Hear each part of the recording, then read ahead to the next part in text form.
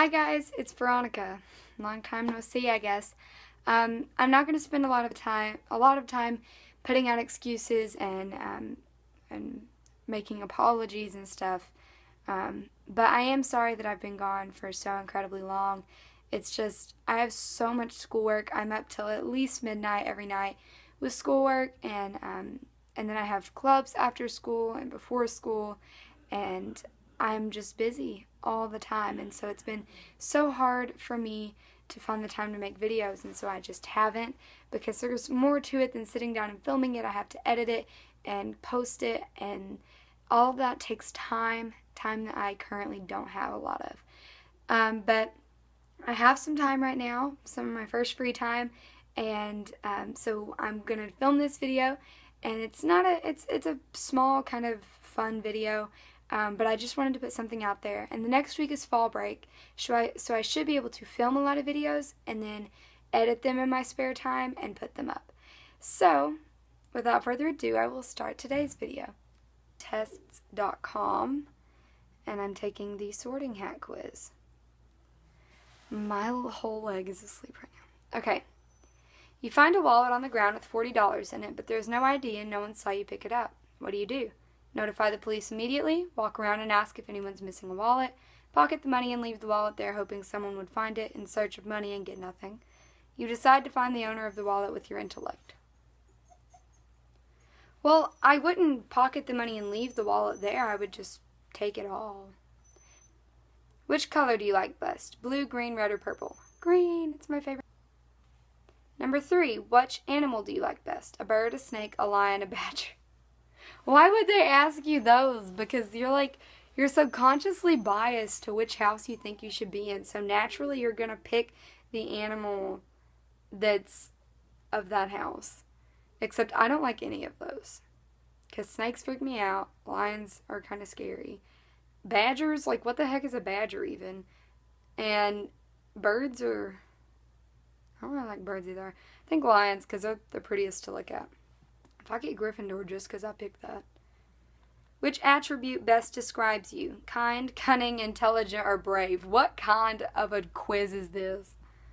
I'm none of the above. I'm not kind. I can be kind of cunning. I can be intelligent. Actually, I can be all of them, if need be. I guess I'll go.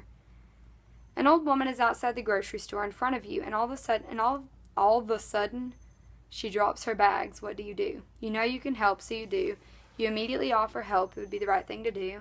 You go over to her and help her. Pretend like you don't notice. Besides, it's not your fault she dropped the bags. Uh, probably go over and help her. Friend asks you to try jello they just made, but you're pretty sure it's a prank. What do you do? Take the dare willingly. Maybe it's not a prank. You yell at them that you're not stupid and never speak to them again. Tell them you hate jello so you don't hurt your friendship. You know better than to eat it. Kindly agree even though you don't want to. A little prank is better than a hurt friendship. I'll tell them I hate Jello. I'm not taking my chances, man. Mm-mm. Which Harry Potter character is your favorite? I don't like anyone. Just kidding. Neville, he's so sweet. Harry, he's the main character, right? Hermione, she's so smart. Harry, because seriously, Harry despite being the main character, is the most underappreciated character in the whole series. And freaking Harry is hilarious. Like, oh my gosh. I mean, he's not my favorite character, but out of those, definitely Harry. Your neighbor asks you to water her flowers while she's on vacation. You agree but neglect doing it, and when your neighbor comes back, they're dead. She asks you if you know what happened. What do you say? You forgot you forgot to water them, but give her tips on reviving them. Tell her you didn't water them and agree to give her money to buy new ones and offer to help replant them. Tell her you don't know what happened and take off the first chance you get. Tell her you didn't water them and say you'll buy her new ones. Tell her I don't know what happened and take off the first chance I get. Your teacher gives you your class a pop quiz on your worst subject right in the morning, but you're sitting next to the class genius who's always right. The thought comes to mind to take a little glance at their paper when the teacher isn't looking. What do you do? I'm good at all the subjects in school. Ask the teacher if you can move away from everyone to prevent cheating. Sneak a glance to be sure you get all the same answers. You don't look, you know it's wrong. Honestly, I would sneak a glance, whatever. Um, number 10, on a scale of 1 to 10, what did you think of this quiz? I give it a 1 to 4 because a lot of these it was like 40%. For 40%, you are. You belong in Slytherin. You're cunning and know how to tell a lie. You're not always the nicest person to be around and can only be seen with people of high quality. Your mascot is the snake. I'm a sneaky, slithery snake.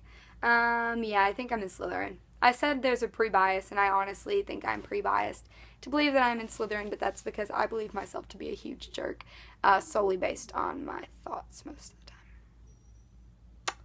So I hope you enjoyed this quiz, and I hope that you are taking it with me, or uh, go, we'll go onto the website and take it also. I love to hear your results, and I can't wait to see you all soon.